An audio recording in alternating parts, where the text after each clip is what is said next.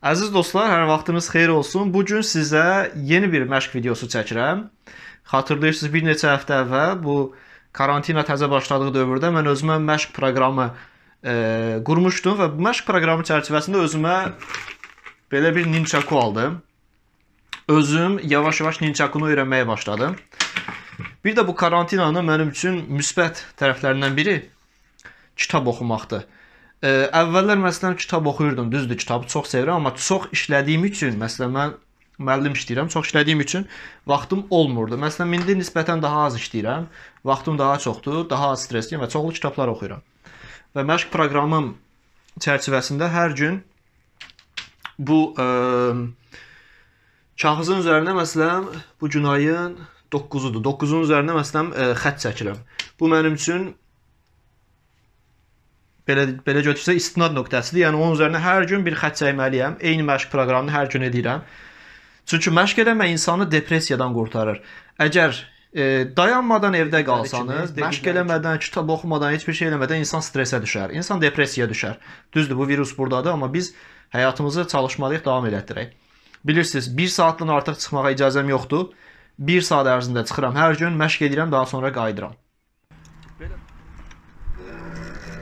Demək, əziz dostlar, mən sizə maska haqqında danışacağam. Maskanı nə üçün taxıram və nə üçün taxmıram. Maskanı adətən əsas bir yer vardı. Bax, buradan keçəndə maskanı taxıram, çünki velosiped yoludur.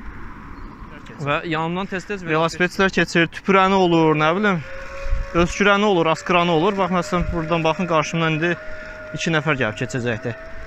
Sırf bu yolda, məsələn, e, e, maskanı taxıram. Amma ondan sonra məsələn onu çıxardıram. Çünki e, görürsünüz məsələn keçəcəkdi yandan 2 nəfər. İndi qarşıdan yenə bir nəfər gəlir. Ümumiyyətlə də bunun üçün çalışıram əlimdən gələn qədər ki, sadəcə burada maska taxım və daha sonra boş yerə keçəndə maska taxmağa ehtiyac yox. Çünki maska nəfəs darlığı yaradır, nəfəs almağa çətinlik çəkirəm. Belə. Ondan sonra deməli e, normal yerə də mən əgər əminəmsə ki də burada insan yoxdur, insan olmayacaqdı. Maskanı çıxardıram, normal gedirəm.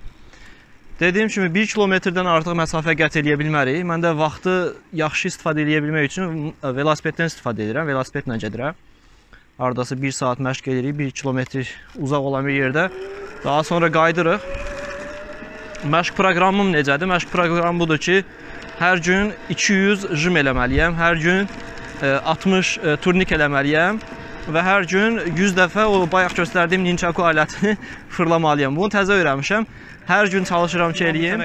Karantin e... bitənə qədər. Ondan sonra isə hər həftə biz onsuz da çalışırıq.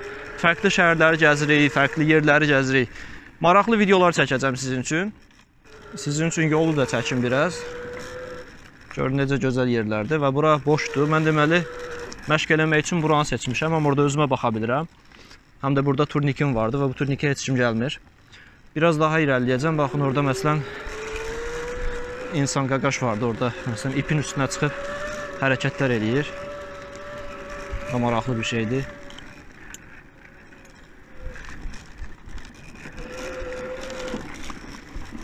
Bonjour.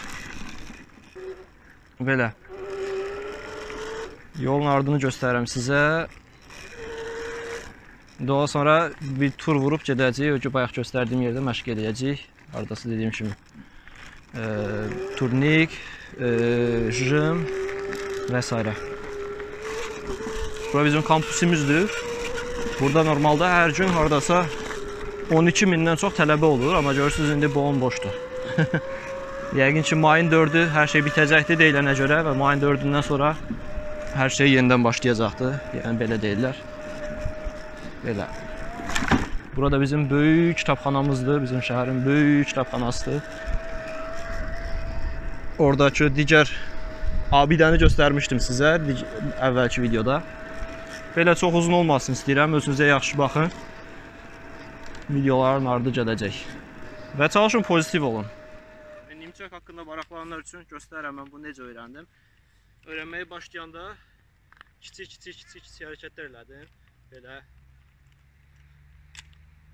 asta-asta.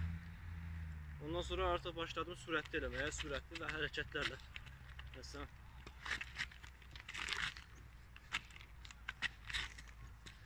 Ondan sonra da əlavə elədim məsələn təpiklər və s. Əziz dostlar, bu videoda sizin üçün bonus olaraq çəkirəm. Görürsüz necə gözəldir. Deməli, məşqdən sonra gün batımını izlədim burada və hardasa 5 dəqiqə sonra digər tərəfdə ay çıxacaqdı. Onun üçün də hardasa gözləyəcəm. Ayı çəkə bilsəm biraz buludlar vardı o bu hissədə. Amma ayı çəkə bilsəm sizə göstərəcəm. İndi isə günəş batdıqdan sonra necə gözəl mənzərə alındığını göstərirəm sizə. Bu bizim evin demək olar ki, arxasıdır. Bizim ev deməli o tərəfdədir. Belə. Gözləyək. Əgər ay çıxsa onu da şəklini çəkib göstərəcəm sizə.